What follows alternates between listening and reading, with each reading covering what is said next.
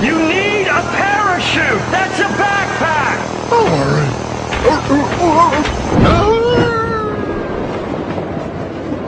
Kazooie? Banjo and Kazooie have disconnected, now working individually and as a team to tackle their biggest adventure yet, Banjo-Tooie. Rated E for everyone. Just remember, bears still need a bird to fly.